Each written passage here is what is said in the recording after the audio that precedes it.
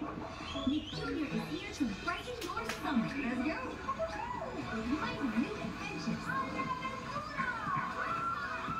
A new special. I'm so excited. And so much Paw Patrol. So much fun. This summer for Nick Jr. is gonna be